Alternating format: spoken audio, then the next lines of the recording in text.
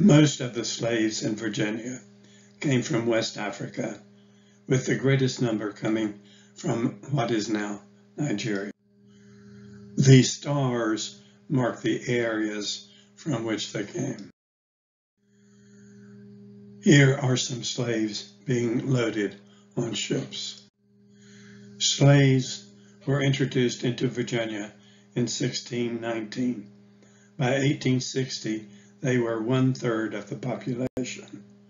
Quite a number of counties in the Tidewater and Piedmont areas were majority slave. This is Southwest Virginia. Washington County is on the border with Tennessee. Western Virginia was very different from the eastern part of the state. In the east, there were large plantations with slave houses. In the west, slave holdings were usually small. The percentage of African Americans, with the exception of two counties, has declined since the Civil War.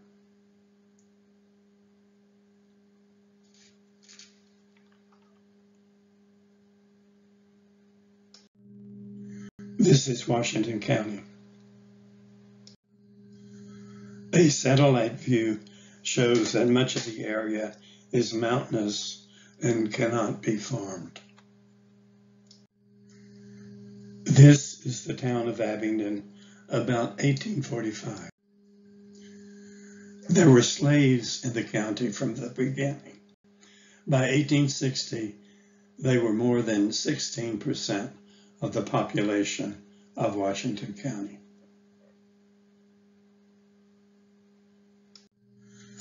Most slaves worked on the land or were blacksmiths. A few others provided household and other services. There were very few free persons of color.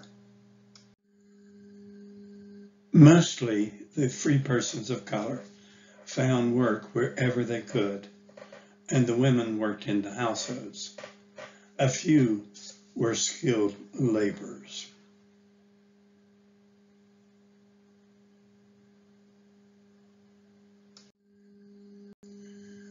Early Virginia treated Africans as apprentices for the first 20 years, but then they redu were reduced to slaves. Because of race mixing, the colony in 1662 ruled that the race of the mother determined the status of a child. In 1669, an owner could kill a slave without suffering consequences. In 1691, whites who married Africans or Indians were banished from the colony. In 1705, slaves were considered real estate, but that caused a number of problems. Therefore, in 1727, slaves were considered personal property. But slaves could not marry, be educated, testify in court except one of their own race, could not travel without a pass, and could not have their own churches. They had to sit in the back of the churches or in the balcony. If they did have a church, the minister had to be white. Most slave sales were private transactions, but they could be auctioned on the front steps of the courthouse, especially to settle estates.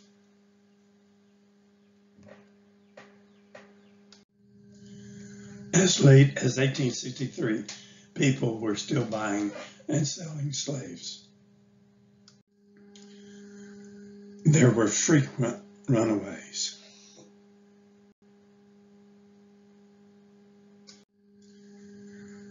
This is another runaway from Tobias Smith at Emory and Henry.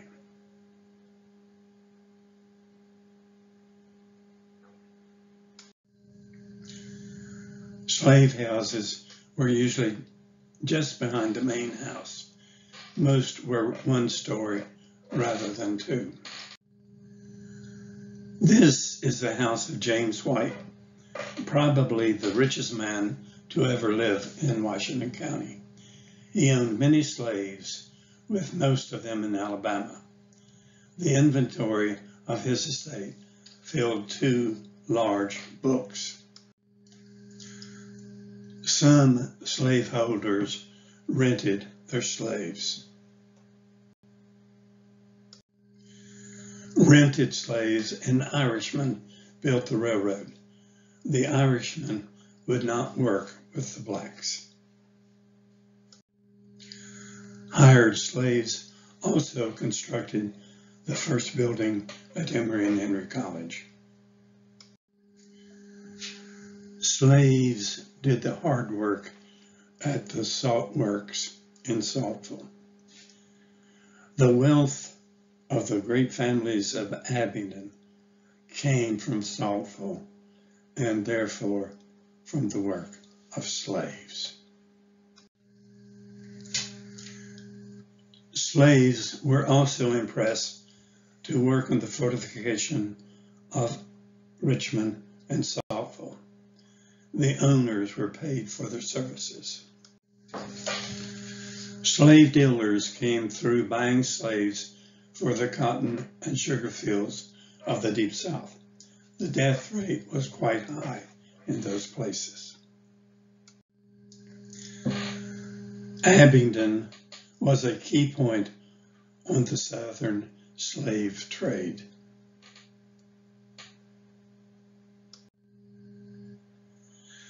Here is a slave coffle, our, our gang on the way to Tennessee, which would have passed through Abingdon. This is another one. Sometimes they were chained together. In 1815, someone set the courthouse on fire.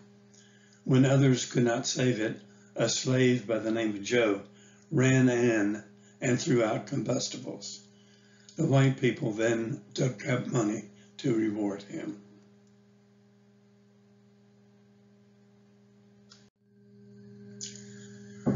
Rosanna Hill managed to become a free person. Her son Jarrett was owned by Samuel Montgomery. Jarrett ran away but was captured. Montgomery wanted to sell him because he might run away again, especially since he could pass for white. His mother did not want him to be sold to an owner who might abuse him. She then made a deal with Adam Hickman, who was also nervous about his running away. By that time, she owned three female slaves herself.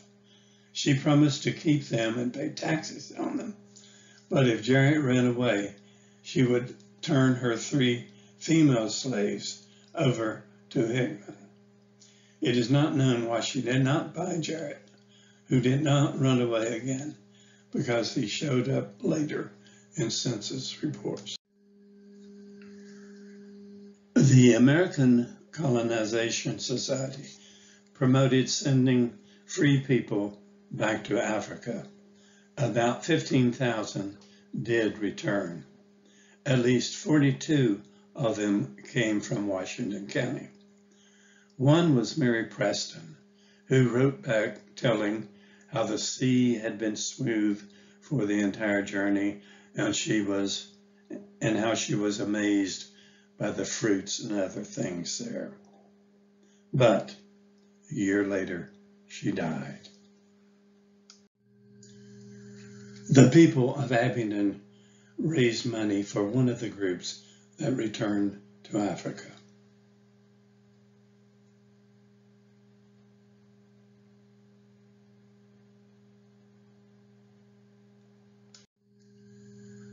Liberia is a small country in West Africa.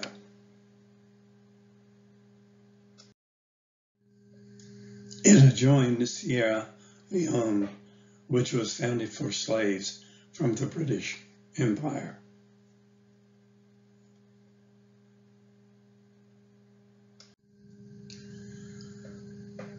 Monrovia, the capital, was named for President Monroe of Virginia. Notice how small the ships were for the long journey.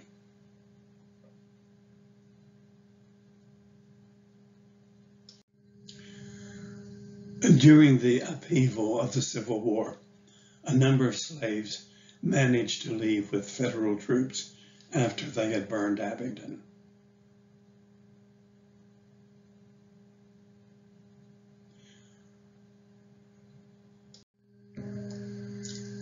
After the war, the southern states were put under military rule, with the Freedmen's Bureau looking after the interests of the freed people. Reconstruction went well. The freed people were then allowed to marry, to vote, at least the men could vote, to have their own schools, go to court, and have their own church and Masonic lodge. The man who led them Thaddeus Harris had been free when he came to Abingdon in 1858. He led the school, the church, and the Masonic Lodge, as well as running his barber shop and general store.